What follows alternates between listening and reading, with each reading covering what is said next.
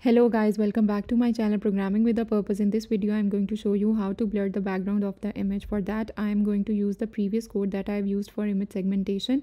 If you haven't gone through that code, uh, please visit the link inside the description box and after that make the changes according to this tutorial to achieve these results. So let's, let's get started.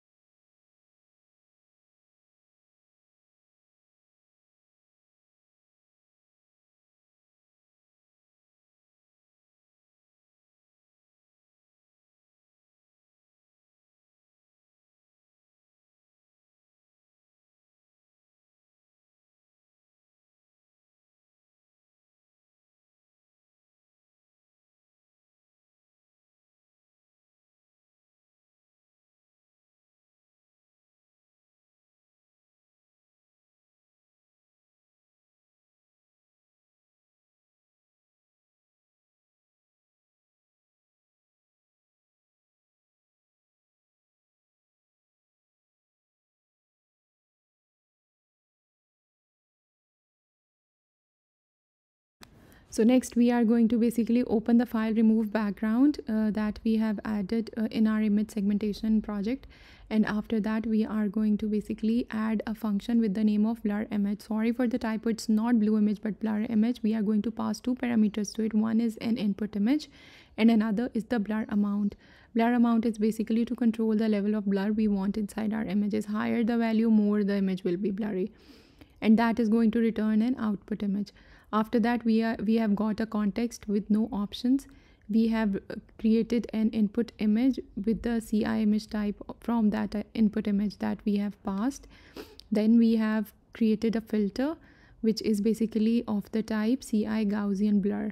After that we have set two of the values of its parameters input image and blur amount. After that we are going to write the blurred image into our output image and then we are going to return it from this function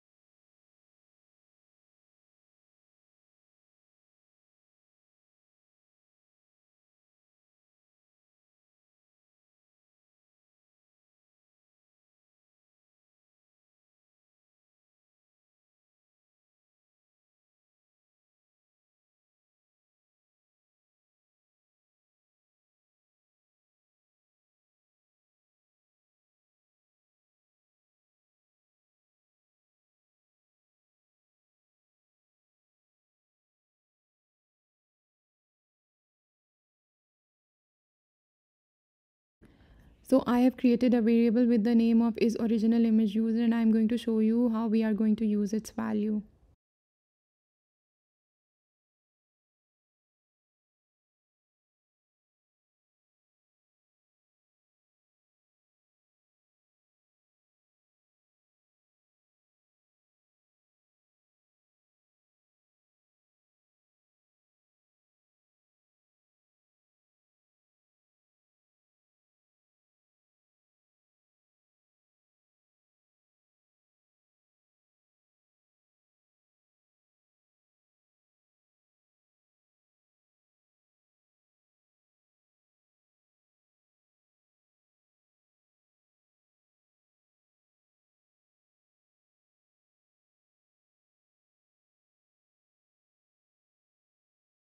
so guys the main part is basically to make changes to the mask input image. If the original image used is true we are going to basically get the background image from the input image. Otherwise we are going to load another image in which case we can basically change the uh, background of the image.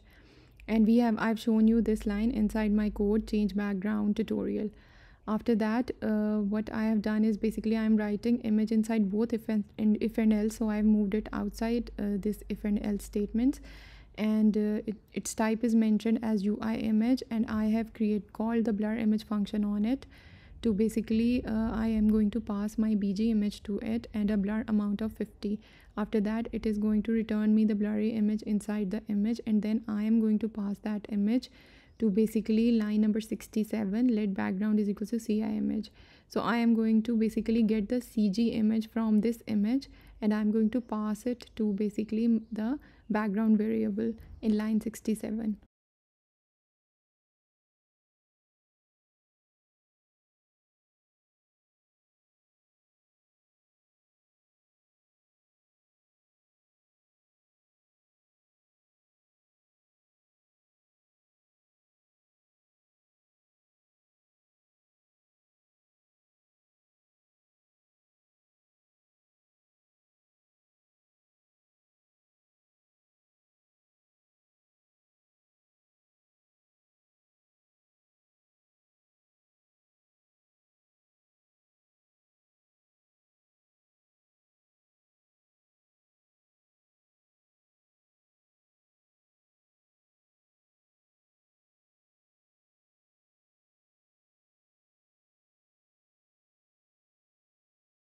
So here finally i'm making some of the changes in the content view what i've done is basically i've created a variable is original image used to basically get the toggle value which i'm going to add after the button.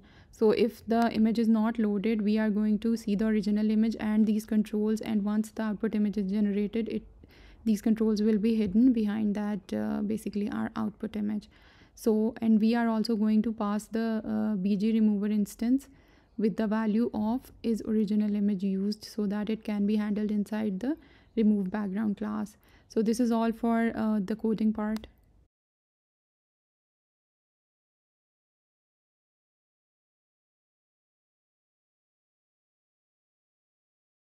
So let's run the code.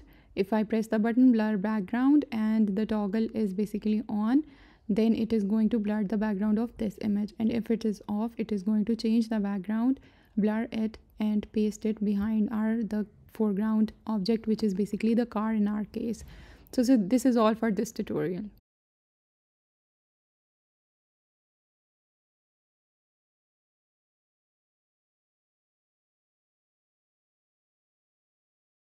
So guys, I hope you have enjoyed this tutorial and you have successfully achieved the results that I have shown you inside this tutorial. If there are any queries or suggestions, please post in the comment section.